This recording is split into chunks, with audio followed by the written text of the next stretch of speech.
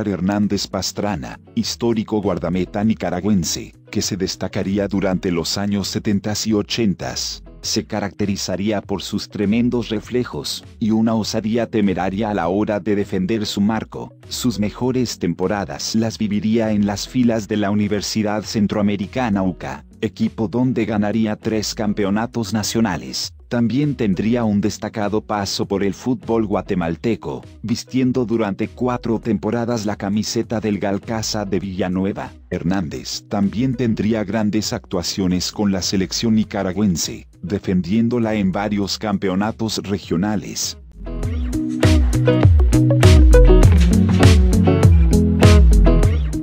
Juan Juanelo Orellana, considerado uno de los mejores porteros nicas de los años 90.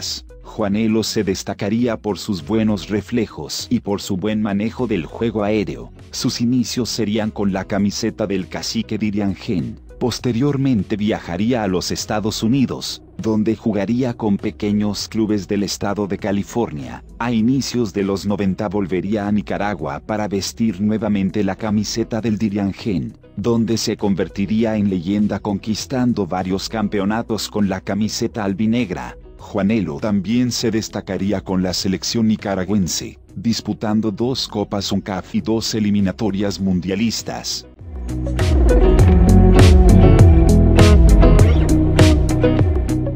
Sergio Chamorro, considerado el mejor portero de Nicaragua en la década de los 90, se destacaría por su buen juego aéreo y el buen manejo del mano a mano. Chamorro tendría su debut profesional en 1988, vistiendo la camiseta del Club Deportivo Walter Ferretti. Como arquero del cuadro rojinegro Chamorro ganaría dos campeonatos nacionales. En 1999 pasaría a las filas del Real Estelí, club donde obtendría sus mayores éxitos. Con la camiseta del Tren del Norte lograría levantar seis campeonatos nacionales. Chamorro sería seleccionado nacional nicaragüense desde 1991 hasta 2004, disputando tres Copas UNCAF y tres eliminatorias mundialistas con la selección pinolera.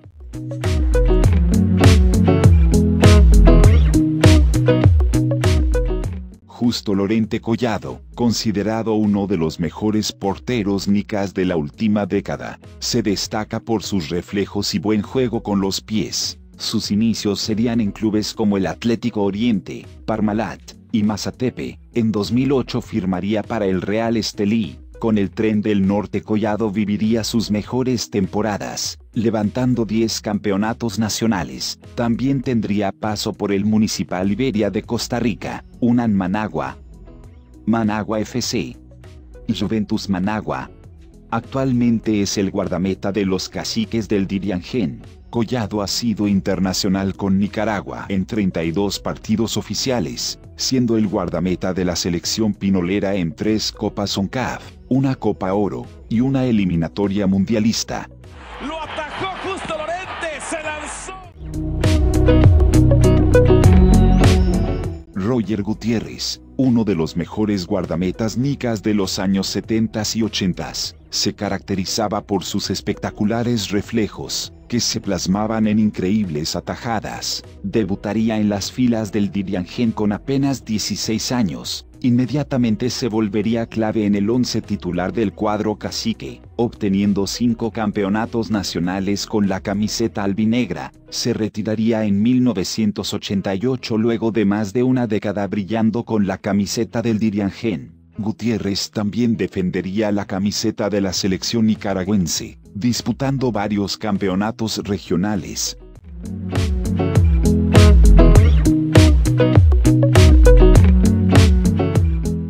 Eduardo Caramelo Terán, legendario guardameta nicaragüense, que se destacaría durante los años 70 y 80 en la primera división pinolera, Caramelo Terán se destacaría por sus grandes reflejos bajo el marco, y su excelente manejo del juego aéreo. Brillaría con la camiseta de equipos como la Universidad Centroamericana UCA, y los Búfalos de Managua, siendo campeón nacional con ambas instituciones. Terán también se destacaría en la selección nicaragüense, siendo el guardameta titular en varias competiciones regionales.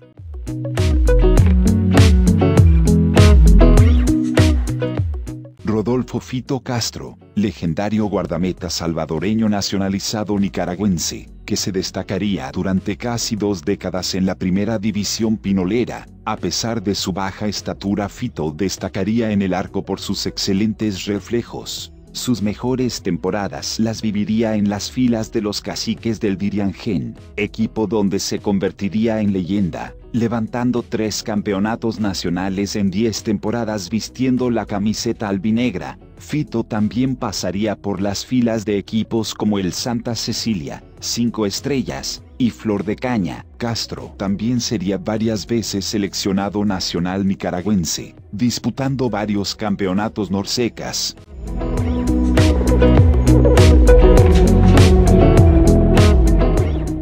Denis el Pulpo Espinosa, considerado uno de los mejores porteros nicas de la historia, bautizado como el pulpo por sus increíbles reflejos, sus grandes atajadas y su capacidad de liderazgo. Sus inicios serían en el humilde San Marcos, posteriormente pasaría por las filas del Diriangén, donde ganaría dos campeonatos nacionales. Desde 2008 el Pulpo es el guardameta titular del Walter Ferretti, equipo donde ha levantado dos campeonatos nicaragüenses, y donde impondría en 2015 un récord centroamericano, manteniendo su valla invicta durante 1213 minutos. El pulpo ha sido internacional con la selección nicaragüense desde 2002, disputando hasta la fecha cinco Copas ONCAF, una Copa Oro, y tres eliminatorias mundialistas.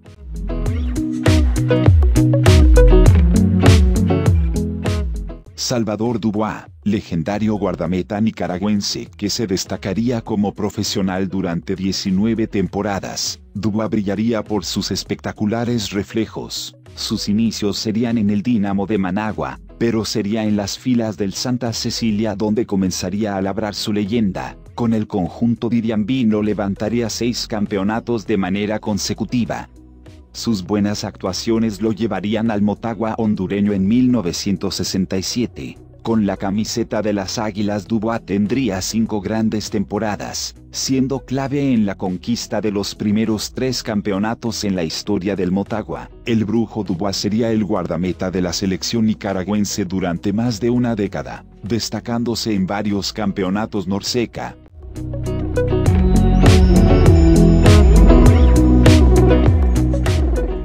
Roger Mayorga, mítico guardameta nicaragüense, considerado el mejor de la historia de su país por sus grandes actuaciones en diferentes ligas de la región. En su natal Nicaragua vestiría la camiseta de equipos como el Dinamo de Managua, Rincón Español, Milka Roja y Flor de Caña, pero serían sus buenas actuaciones con la selección nicaragüense las que le abrirían las puertas en el extranjero. En 1966 partiría a Colombia para vestir la camiseta del América de Cali. En 1967 llegaría a la Aurora FC de Guatemala, donde lograría levantar un campeonato guatemalteco. En 1969 jugaría con el Club Deportivo Águila de El Salvador. En 1971 llegaría al fútbol hondureño, liga donde viviría sus mejores temporadas. Vestiría la camiseta de equipos como el Maratón, Superestrella de Danley, Universidad y Motagua.